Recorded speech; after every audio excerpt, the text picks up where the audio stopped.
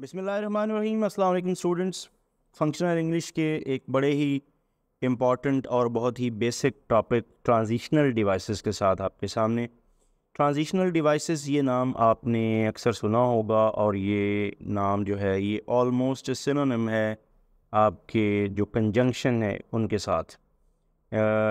तकरीबन कंजंक्शन को हम ट्रांजिशनल डिवाइसेस के मानी में लेते हैं। इसका जनरल नेम आप कह सकते हैं ट्रांजिशनल डिवाइसेस लेकिन एक्चुअली अगर हम पार्ट्स ऑफ़ स्पीच में जाएँ, या बहुत स्पेसिफिक बात करें तो ये कंजंक्शन से मिलता जुलता है। ट्रांजिशनल डिवाइसेस जैसे कि नाम से ज़ाहिर है तो ये ट्रांजिशन को ज़ाहिर करता है। यानी आपका एक सेंटेंस है तो एक सेंटेंस से जब आप अगले सेंटेंस की तरफ़ जाते हैं तो उसको जो कंबाइन करने का काम करते हैं कुछ अल्फाज, उनको हम ट्रांजिशनल वर्ड्स कहते हैं। और वो अल्फाज जो ब्रॉड कैटेगरीज जो इस जॉइनिंग के साथ डील करती हैं, उनको हम ट्रांजिशनल डिवाइसेस कहते हैं। चलिए देखते हैं कि ये एक्चुअली है क्या। Transitional devices are like bridges between parts of your paper यानी ये ब्रिजेस ये ब्रिज करते हैं। एक सेंटेंस के दो हिस्सों को या दो सेंटेंसेस को आपस में।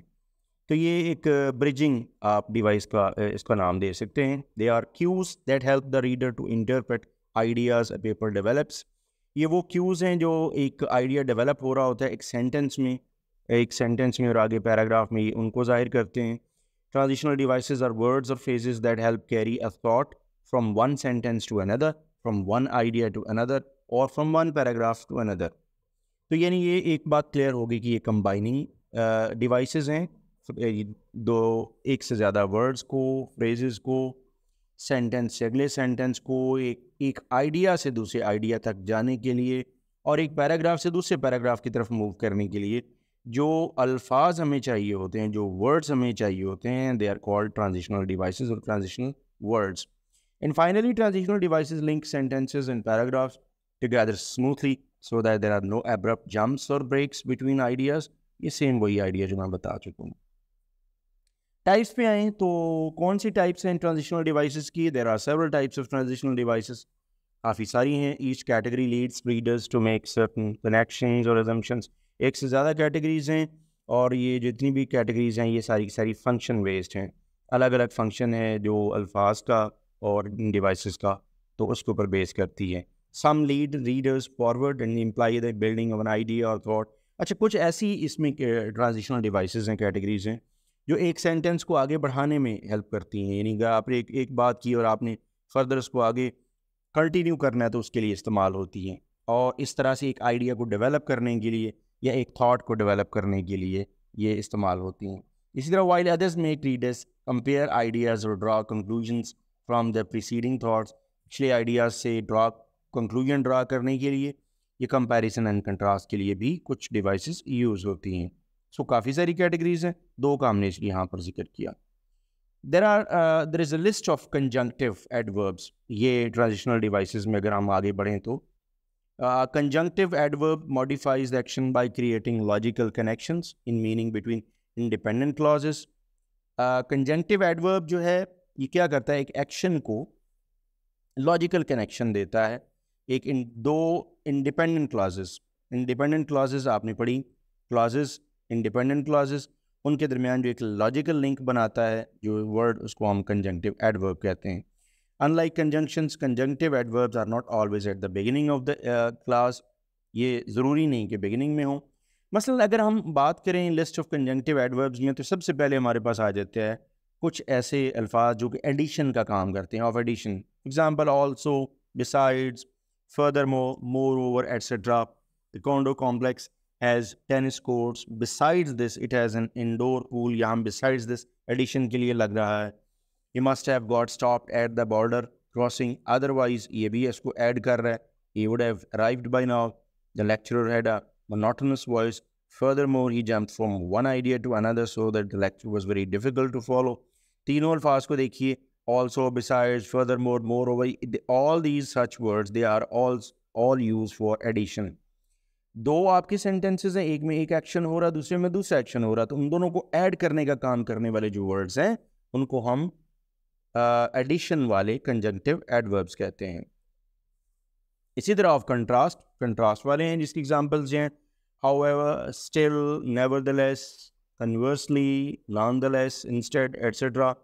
The printers are on strikes. Nevertheless, students will receive course package on time. यानी ये देखिएगा एक सेंटेंस में एक बात दूसरे में दूसरी बात दोनों के दरमियान एक कनेक्शन नेवरदलेस की सूरत में we were able to run only four courses still this compares favorably with other summer programs. इसी तरह it's really cold today. We can't complain. However, we can't complain as it's been mild overall. So look at the words nevertheless, still, and however. Although they are uh, single words, yet they have the they have the function to combine two independent clauses दो अलग अलग independent classes में अलग अलग sense को contrast के मानों में कंट्रास्ट के सेंस में लेके तो ये फिक्रों को जोड़ने का कंबाइन करने का काम देते हैं। कंपेरिजन वाले हैं similarly likewise Paul went to Legland college his daughter likewise did her studies there Kate is in love with her dogs Martha is similarly obsessed with her horses comparison वाले आगे इसी तरह रिज़ल्ट वाले हैं। Therefore, hence, thus, consequently, etc. He rarely produced a day's work. He consequently lost his job as a result. यानी result के लिए ये words use हो रहे हैं consequently. Caffeine is a stimulant, thus it can keep a person awake at night. We discovered Marla's uh, activities were uh, duplicating those of Zoe. We therefore assigned Marla other tasks. So result के लिए ये चार words use होते हैं Conjunctive adverbs. कुछ और हैं जिसमें एक टाइम वाला है next, then, meanwhile, finally, subsequently, etc. The chairperson will be late for the meeting. Meanwhile, we are to hand out minutes of the last meeting to the board members यानी ये time के लिए भी लगता है इसी दौरान the network has crashed next the power will go off यानी नेक्स्ट टाइम के लिए या टर्न के लिए यूज़ हो रहा है। First boil the water then pour it over the tea bag ये भी टाइम के लिए यूज़ हो रहा है। Next then meanwhile finally subsequently are the conjunctive adverbs use for time types of conjunction अगर बात करें तो conjunction is use to join words और group of words coordinating conjunction सबसे पहले इसकी एक टाइप है। कंजंक्शन हम ऑलरेडी पढ़ चुके हैं। अगर आपने कंजंक्शन को बहुत ज़्यादा डिटेल में पढ़ना है तो मेरे इसी चैनल की प्ले में जो ग्रामर वाला पोर्शन है वहाँ पर जाके आप कंजंक्शन की को पूरी डिटेल में इसकी स्टडी कर सकते हैं वहाँ ये सारी टाइप्स बड़ी डिटेल में डिस्कस हुई हैं यहाँ पर दोबारा डिस्कस कर लेते हैं कोऑर्डिनेटिंग कंजंक्शंस हैं they join grammatically equivalent sentences as sentence elements. For example, and, for, or, yet, but, nor, so.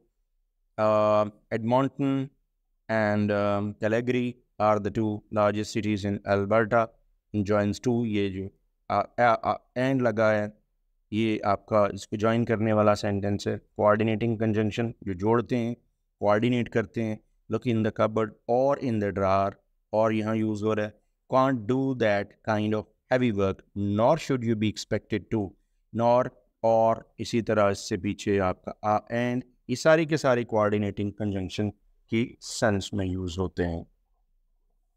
Correlative conjunctions हैं जी pair of words that join words, phrases and classes of equivalent grammatical structure.